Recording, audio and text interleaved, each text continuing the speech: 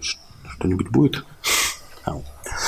Так, э, здравствуйте, уважаемые коллеги. Я бы хотел рассказать, конечно, наверное, не все возможные моменты, но основные какие-то взгляды на роль лучевой терапии при метастатическом раке молочной железы.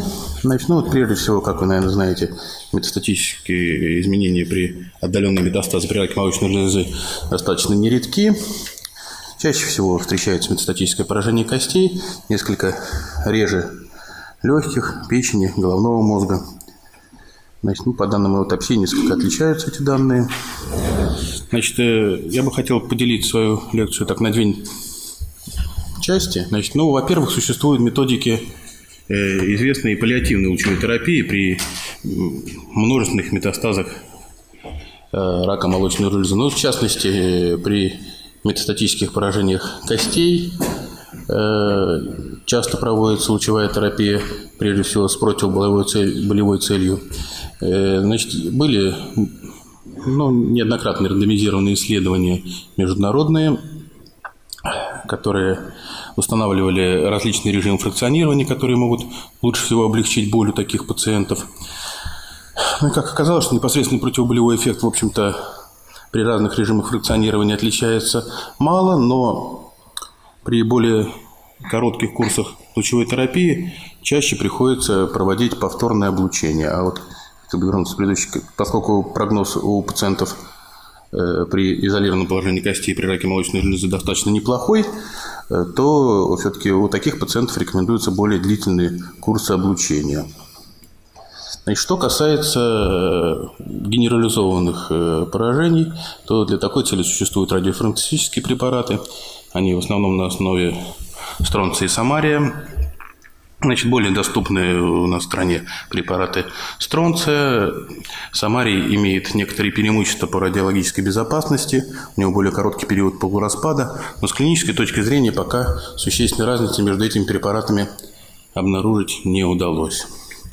Значит, ну, также проводились рандомизированные исследования при множественных метастазах в печень тоже. Э, понятно, что это достаточно тяжелые пациенты, у которых, как правило, исчерпаны возможности системного лечения. Значит, ну и здесь э, возможности ограничены достаточно большой токсичностью при облучении всей печени. Здесь речь идет об облучении всей ткани печени в разных режимах. Также большой разницы между этими режимами отмечено не было, поэтому для практического применения был рекомендован самый короткий режим. И вот у половины примерно пациентов удавалось достичь паллиативного эффекта без какой-то существенной токсичности. Значит, несколько особняком стоит метастатическое поражение головного мозга, поскольку это всегда очень неблагоприятная ситуация. Э, и, в общем-то, они могут быть ведущими в прогнозе для пациентов, э, у которых они выявлены. Значит, к сожалению, это встречается не так часто, не так редко, как хотелось бы. Э, длительное время основным методом лечения у этих пациентов было облучение всего объема головного мозга. Эта методика, в принципе, не потеряла своей значимости и сейчас. Э, с появлением э, радиохирургического лечения несколько ее роль снизилась, однако при множественных метастазах головной мозг по-прежнему эта методика актуальна, поскольку она не только позволяет снизить, то есть клинически выявленные очаги как-то контролировать, но и снизить частоту э, метастазов, вновь появляющихся в других частях головного мозга. Э, ну, есть представлены возможные варианты применения облучения всего объема головного мозга. Это, ну, как правило, какие-то неблагоприятные все-таки клинические ситуации, множественные метастазы, лептоменингиальное поражение. И, кроме того, э, облучение всего головного мозга может применяться и послеоперационном периоде, э, в случае удаления хирургического там, какого-то крупного метастаза, поскольку э, ну, вот так выглядит облучение всего объема головного мозга. Так, э, разработаны также стандартные достаточно режимы фракционирования этого облучения, который, ну, самый распространенный из них это 10 фракций – Патрик Грея. Для больных с неблагоприятным прогнозом э, предлагаются более короткие курсы, однако у больных, у которых ну, прогнозируемая жизнь все-таки больше хотя бы трех месяцев, нежелательно проводить такие короткие курсы, поскольку там возникает достаточно существенное количество радионекрозов. Ну и вот что касается послеоперационного облучения головного мозга, то вот, ну, достаточно такое старое исследование, но по-прежнему актуальное, которое показывало, что частота локального контроля в головном мозге возрастает, если после хирургического удаления метастаза провести облучение всего головного мозга. И даже у них получалось, что и медиана общей выживаемости растет. Ну, вот в более поздних исследованиях, э, да, э, локальный контроль подтвержден, однако общая выживаемость здесь уже не так значимо отличалось. Видимо, это связано с тем, что появились уже радиохирургические методики, и, возможно, было какое-то более эффективное лечение возникающих рецидивов. Ну, вот еще одно исследование, которое, в общем-то, то же самое иллюстрирует. Ну, и когда мы проводим облучение всего объема головного мозга, мы должны, конечно, понимать, кому мы это делаем. Значит, здесь э, давно достаточно разработанные прогностические группы РТОК. Если у пациентов с контролируемым экстракраниальным процессом при хорошем общем статусе можно добиться медианы выживаемости около 7 месяцев, то, к сожалению, пациенты с плохим общим статусом даже при проведении облучения всего головного мозга, в общем-то, результаты их лечения мало чем отличаются от симптоматического лечения. Ну и вторая часть, к которой я бы хотел перейти, это роль лучевой терапии при так называемом олигометастатическом процессе. Значит, э, рассмотрение этого вопроса стало возможно, во-первых, с появлением самой концепции олигометастатического процесса, то есть такого процесса, который как бы предположение, что существует такой промежуточный, э, промежуточная стадия заболевания между локальным процессом и генерализованным э, заболеванием, в котором локальный метод воздействия может как-то существенно повлиять на судьбу пациента. Ну вот это вопрос дискуссионный по-прежнему остается. И ну, кто-то говорит, что не более пяти очагов удара, кто-то не более трех. Но, кроме того, здесь надо учитывать и другие факторы, которые существуют у этого пациента. То есть это может быть и срок возникновения метастазов, ну, количество, само собой, понятно, и наличие чувствительности к системному лечению, и даже, в общем-то, сохраняющийся контроль над первичным очагом.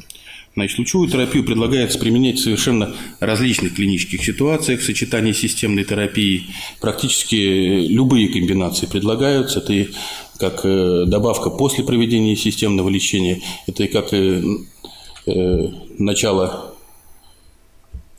с локального метода лечения с последующим системным лечением это и в сочетании с таргетными препаратами. В общем, практически любые варианты могут, на любом этапе жизни этого пациента может рассматриваться вариант локального воздействия в том случае, если оно удовлетворяет от критериям э, олигометастатического процесса. Значит, ну и, конечно, что очень важно, что речь здесь идет, конечно, о локальной лучевой терапии. Прежде всего, здесь идет о стереотоксической лучевой терапии и радиохирургии речь. И для этого, конечно, нужно иметь определенные технические возможности. Но вот наш институт, в частности, оснащен аппаратом Novalis TX, который предназначен для радиохирургических процедур. В частности, ну, в большей степени это касается э, интракраниальных образований, хотя можно проводить и некоторые экстракраниальные локализации тоже подвергать лучевому лечению. Ну, вот так исторически сложилось, что начиналась вообще вся история радиохирургических вмешательств все-таки с головного мозга прежде всего. Здесь представлены классические показания радиохирургическому лечению метастазов в головной мозг. Э, ну, также уже достаточно хорошо отработаны дозы, которые можно подводить. Здесь что важно? То, что... Так. То, что при достаточно крупных метастазах, к сожалению, дозу приходится снижать. И вообще, чем больше метастатический очаг, тем доза меньше. Поэтому рассчитывать на успех при радиохирургическом лечении крупных метастазов в самостоятельном режиме здесь э, приходится реже, чем при более мелких изменениях. Значит, ну вот что касается количества облученных, облучаемых очагов, Ну, как я показывал уже классически, считалось, что их должно быть там не более четырех.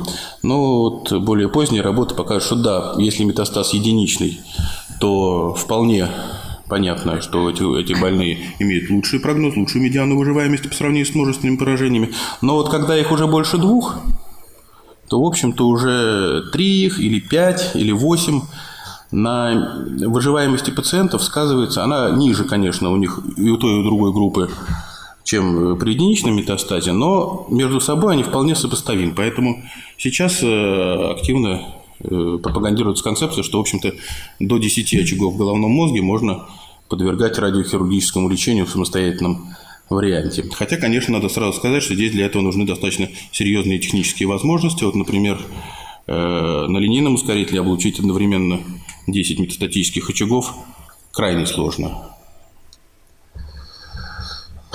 Значит, что касается тролль радиоэффекта, она, естественно, расширилась, может применяться как в самостоятельном варианте, но надо понимать, что когда мы проводим радиохирургическую процедуру, мы воздействуем только на тот вот видимый очаг, и мы должны быть готовы к тому, что у этих пациентов вполне возможны рецидивы в других частях головного мозга, и мы должны либо комбинировать это лечение с облучением всего головного мозга в надежде повысить безрецидивную выживаемость, или мы должны быть готовы к тому, что нам понадобится в отсроченном периоде повторные какие-то, либо повторные радиохирургические вмешательства, либо отсроченное облучение всего головного мозга, либо, может быть, нейрохирургическое лечение.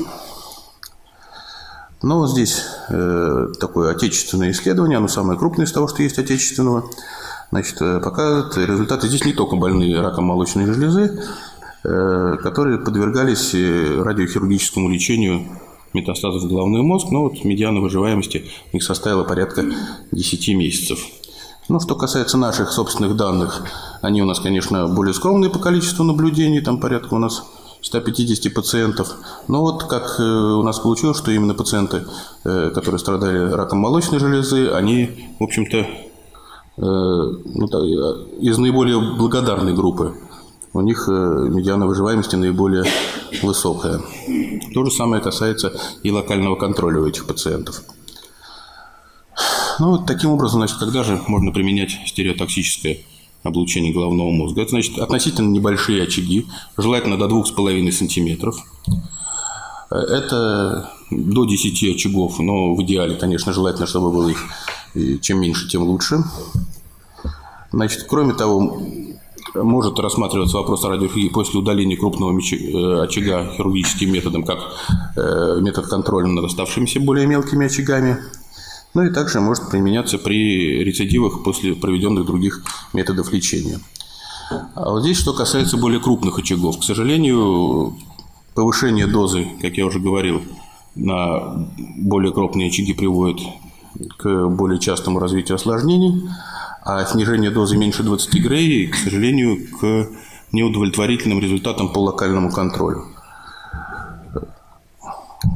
И вот при очагах больше 2,5 см здесь остается существенный вопрос. Значит, то есть это либо эти пациенты должны подвергаться нейрохирургическому лечению с последующим послеоперационным облучением, либо как альтернатива в тех случаях, когда, радиохирургическое, когда хирургическое лечение по тем или иным причинам невозможно, значит, это использование так называемой гипофракционированной стереотоксической лучевой терапии. Ну, вот один из предложенных режимов, их на самом деле множество, это и, может быть и три фракции по 8 грей, здесь в этом исследовании представлено 6 фрак... 5 э, фракций по 6 грей.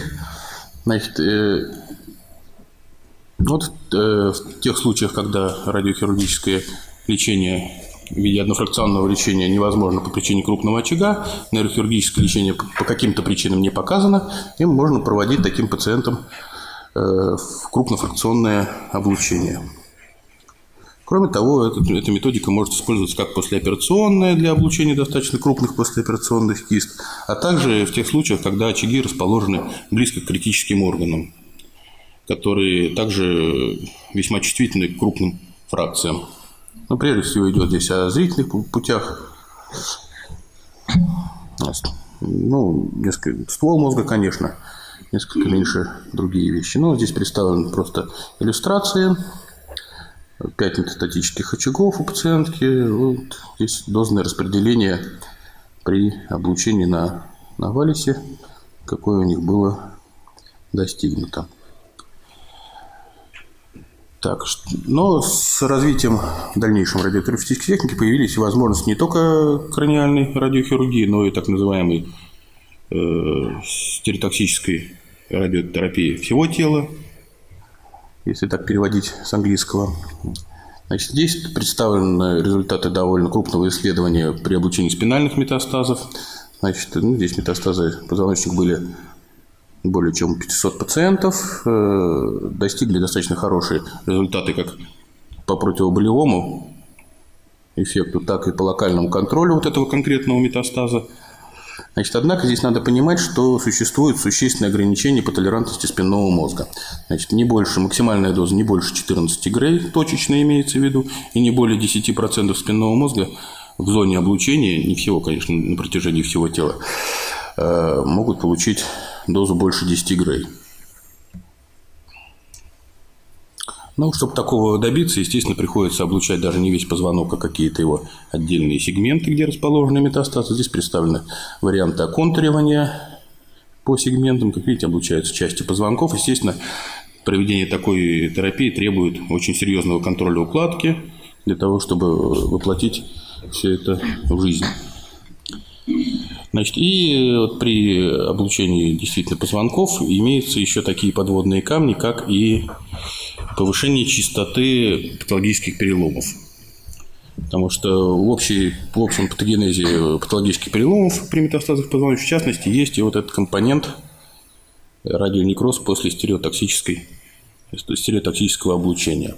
Поэтому здесь надо подходить, конечно, аккуратно. Вот, как показали в нескольких исследованиях, до 40% практически доходит частота патологических переломов после стереотоксического облучения. Но все исследователи показывают, что все-таки большинство патологических переломов связано с лечением остеолитических метастазов и повышение дозы выше 20 грей. Ну, остальные прогностические факторы в разных исследованиях менялись, но вот это вот исследование, которое самым большим частотом осложнения, в общем, у них практически было больше половины больных, две трети практически больных с остеолитическими метастазами. А, ну, также можно проводить радиохирургическое лечение метастатического поражения легкого. Здесь представлено несколько исследований а, по облучению метастатического поражения легких. Значит, здесь что надо отметить? Что локальный контроль и даже в какой-то степени выживаемость. Выживаемость здесь в основном зависит, конечно, от отбора пациентов и от системного контроля над заболеванием. А вот локальный контроль явно растет при эскалации дозы. То есть при более низких дозах частота локального контроля явно меньше, чем при более высоких дозах. Мы, например, сейчас э, стали использовать э, три фракции по 20 грей для метастатического поражения легких. Ну, вот так выглядит э, план лечения больного с метастазом в легкое. Больной. Значит, второй метастаз там тоже существует, как вы видите, который будет на втором этапе тоже подвергаться радиохирургическому лечению. Значит, ну, аналогичная ситуация имеется и с метастатическим поражением печени.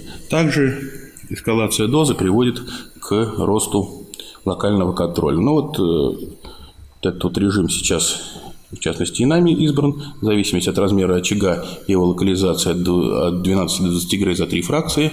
И при небольших очагах, то есть это пациенты, которые получили как раз 20 грей за 3, 3 фракции по 20 грей, 60 грей за три фракции, у них локальный контроль этих метастазов практически 100%. Более крупные метастазы или метастазы по каким-то причинам не облученные в этой дозе, у них локальный контроль уже сразу же снижается. Значит, ну, здесь иллюстрация, опять-таки, метастатического поражения печени. Здесь одиночный очаг, который расположен далеко от критических органов. Обычно проблемы возникают с облучением, если метастазы расположены где-то вблизи кишечника, вблизи желудка. Э, здесь толерантность этих органов ограничивать может дозу облучения. Значит, здесь все достаточно далеко, и, в общем, метастаз пролечен в дозе 60 э, грей за три фракции. Ну, другой случай. Значит, тоже периферический метастаз. Здесь есть критические органы, здесь возможен патологический перелом ребра потом, после стереотоксического облучения. Вот. Ну,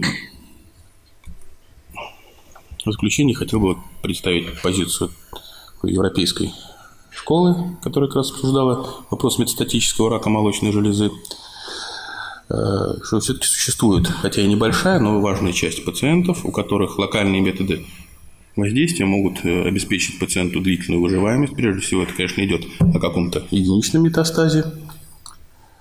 Но в этих случаях можно достичь полной ремиссии и какой-то длительной выживаемости. Вот. Ну и в заключение я бы хотел вам предложить такой вопрос.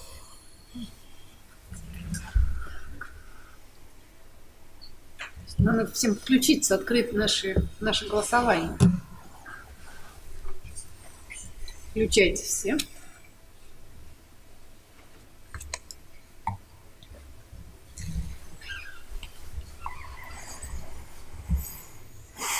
Это получается три разных пациента, да? Да, кого из них? Где? Пример? Здесь вот, да. Это три разных, конечно, безусловно. Вот кто, на ваш взгляд, больше всего подошел бы для того, чтобы его подвергнуть локальному лечению именно радиохирургическому? Какие коварные вопросы.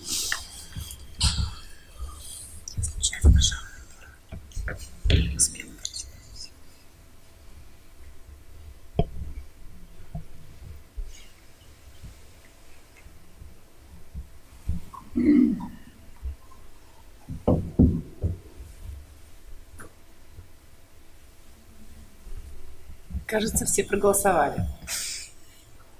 А вы сами проголосовали, Михаил Маркович? У меня было открепительное удостоверение, да, я заранее проголосовал. Проголосовали? Есть, есть у нас результат. Ну вот, э, попались, грубо Ну, вот я говоря. говорю, коварный вы. Э, Не, ну на самом деле э, первые два варианта, они оба могут рассматриваться, конечно, как кандидаты на радиохирургическое лечение. Здесь единственное коварство в том, что очаг достаточно крупный. Я специально акцентировал, что при таком очаге радиохирургического лечения самостоятельного будет, скорее всего, этого пациента недостаточно. Лучше бы его, конечно, сначала при возможности провести ему удаление и потом облучить послеоперационную кисту, и тогда у этого пациента как раз наилучший прогноз будет у этой пациентки. Вот тут, в частности, у нас получилось, что пациенты, леченные именно при крупных метастазах, начиная с нейрохирургического лечения и потом облучения э, ложи опухоли у этих пациентов, э, они, в общем-то, ну, пока получается, что у них меридианная выживаемость около трех лет. Пока их, правда, не очень много, которые у нас прослежены такой период, но, в общем, это наиболее благоприятная группа. В тех же случаях, когда они облучаются просто радиохирургическим, при таком размере здесь можно облучить, к сожалению, в очень небольшой дозе, то есть это будет либо фракционированное облучение, как я говорил, либо это будет облучение в дозе не более 15 грей, они, к сожалению, рецидивируют все в течение года практически. А Второй вариант, э, на мой взгляд, более предпочтительный для лучевой терапии. Но третий вариант, он, конечно, слава богу, что никто э, не рассматривает его всерьез. Спасибо. Спасибо большое, Михаил Маркович. Будут вопросы? Да, пожалуйста.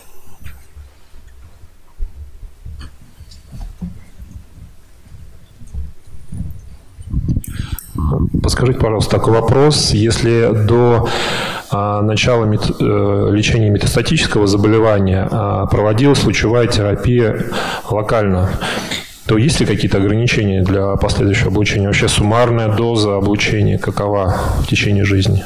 Ну, хороший вопрос. Вы знаете, э, редко бывает, что локальная лучевая терапия как-то мешает облучению метастазов, потому что ну, это может касаться в какой-то степени метастазов легкого, хотя доза на легкое при локальном облучении молочной железы, она все-таки не такая существенная, если там ни- никаких-то экстремальных методик не применялось. Здесь, в общем-то, ну, если это метастаз, скажем, в головку плечевой кости, в том месте, где когда-то проводилась лучевая терапия, тут, конечно, какие-то ограничения будут. Но это какие-то казуистические случаи, очень индивидуальные. Вообще, скорее всего, здесь э, ограничений, связанных с ранее проведенным локальным лечением рака молочной железы, я думаю, что не будет никаких. Спасибо. Да, пожалуйста, еще вопрос.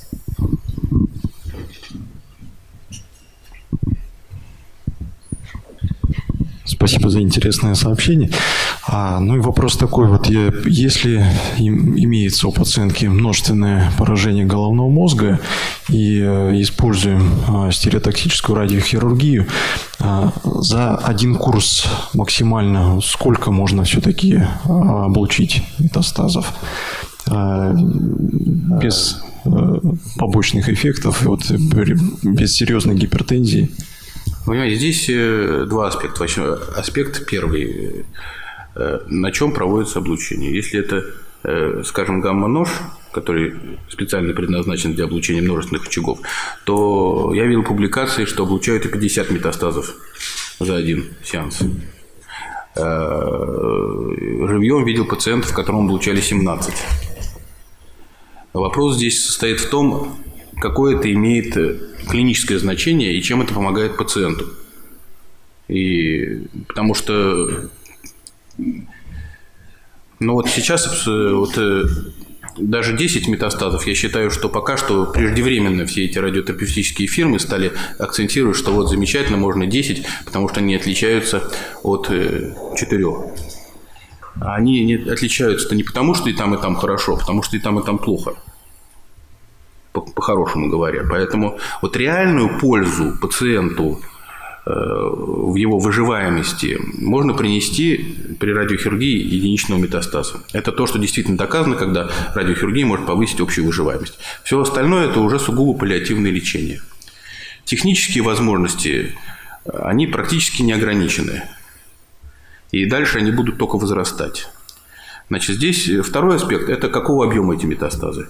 Какой объем ткани мозга облучается при… Если это 5 крупных метастазов, это может быть уже слишком много. Может быть 15 метастазов по 2 миллиметра, которые облучили.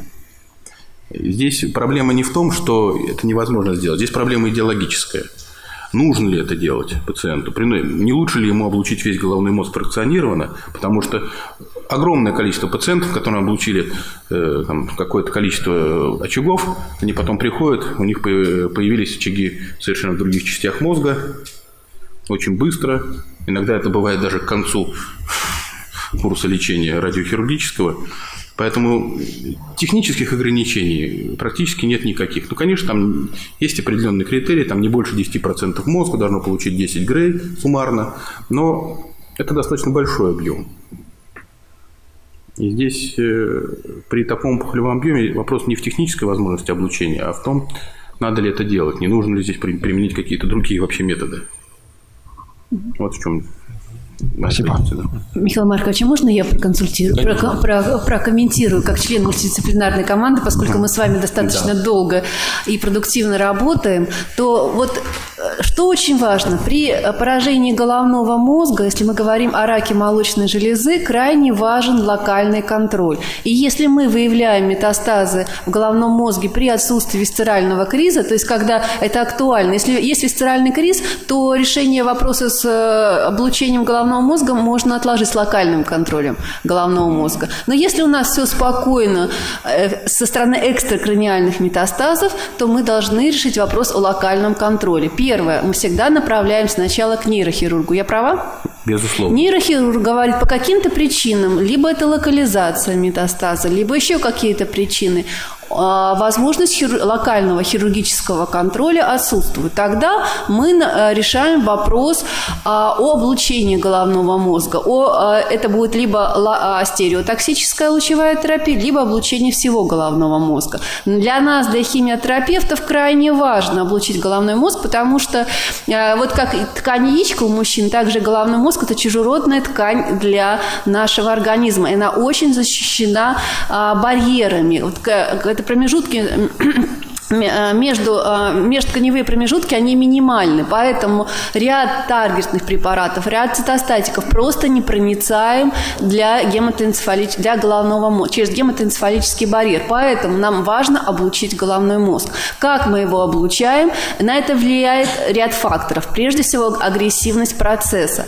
Если процесс агрессивный, вот Михаил Маркович совершенно прав, если 10 очагов, возможно, их больше микрометастазов. И стереотоксическое облучение облучение нам для химиотерапевтов много не даст, потому что цитостатики так или иначе не будут проникать через, э, ну, через оставшуюся ткань головного мозга. А нам нужен локальный контроль всего головного мозга. Если это олигометастазы, да, мы выполняем стереотоксический единичный метастаз облучения головного мозга, понимаем, что то в эту зону цитостатики будут более проницаемы. А почему мы боимся? Мы боимся когнитивных расстройств, да, поэтому выполняем большей частью локальный контроль а, этих единичных метастазов. Поэтому, ну, вот что, что очень важно, и Михаил Маркович это э, в том числе всегда подчеркивает, что после стереотоксического лучевой терапии мы всегда можем провести а, облучение всего головного мозга, да? А вот можем ли после облучения всего головного мозга провести стереотоксическую лучевую терапию? Можем, можем. Если возникает такая клиническая ситуация, если, скажем, вот у нас было какое-то количество метастазов, Значит, мы провели э, лучевую терапию, ну, вот их было, скажем, там 15, из них 13 исчезли, а какой-то один остался персистив, пожалуйста, у него можно сделать радиотерапевтический буст. Или, скажем, все они исчезли, через какое-то время возник рецидив, который подходит под критерии олигометастатического процесса. Для того, чтобы проводить э, локальные методы лечения, прежде всего, пациент должен отвечать критериям олигометастатического процесса. Тогда от этого будет толк. Во всех остальных случаях, э, скорее всего, мы просто потеряем время. Если у пациента действительно олигометастатический процесс, то локальными действиями мы ему принесем пользу. Если мы превысим показания к локальным методам лечения, то пользы пациент не получит. Вот что самое главное, то, что я пытался донести. Значит, что касается, чего мы боимся при облучении всего головного мозга, конечно, мы боимся нейрокогнитивных расстройств. Кроме того, э, это занимает время. Э, если это надо все комбинировать с системной терапией, то, конечно, радиохирургическая процедура, она более привлекательна тем, что пациент быстро полечен, он практически не имеет побочных эффектов, и может, если у него есть угроза прогрессирования экстракраниальная какая-то, ну, вот молодая пациентка, вот у нее появился метастаз в головной мозг, мы понимаем, что, скорее всего, ну, где-то что-то еще вспыхнет вот-вот. То и, конечно, надо быстро провести лечение с минимальным количеством осложнений и срочно начать системную терапию. Если мы начнем лучать весь головной мозг, то тоже мы у нее отнимем примерно месяц на все это дело, пока спланируем, пока две недели самого облучения, пока она от него отдохнет, за это время может что-то неприятное с ней произойти в плане прогрессирования процесса. Поэтому здесь всегда надо рассматривать в комплексе вопрос с каждым конкретным пациентом. Это вопрос, который на данный момент каких-то стандартов не имеет. Здесь надо каждый раз подходить э, в большой степени индивидуально. Но какие-то общие принципы уже формируются. Михаил Маркович, еще вопрос от зрителя трансляции из Волгограда, который спрашивает, требуется ли облучение, общее облучение головного мозга после хирургического удаления метастаза? Да. Может быть, не, не обязательно общее. А имеется ложа, вот этот вопрос Мо, именно может, конкрет, этот вопрос пока что тоже... Ложа опухоли или весь головной мозг? Возможен и тот, и другой вариант. А предпочтительнее? Есть, э, по осложнениям, конечно, предпочтительное облучение ложа. Это практически не приносит никаких побочных эффектов и повышает локальный контроль. Надо понимать, что локальный контроль повышается только в том месте, где мы облучаем. Если мы боимся появления дистантных метастазов в других частях головного мозга, то здесь, конечно, лучше выбрать облучение всего головного мозга. Если мы уверены, что это был олигометастаз, и он прооперирован, и мы не ждем появления быстрого метастаза в других частях головного мозга, то лучше провести локальное облучение ложевой опухоли. Как я уже говорил, таких пациентов у нас э, человек 15 прошло, и не все они, правда, не у всех был рак молочной железы, но у большей части, кстати, был именно рак молочной железы, и они, в общем-то, пока практически все здравствуют. Спасибо большое, Михаил Маркович. Больше вопросов не будет? Спасибо.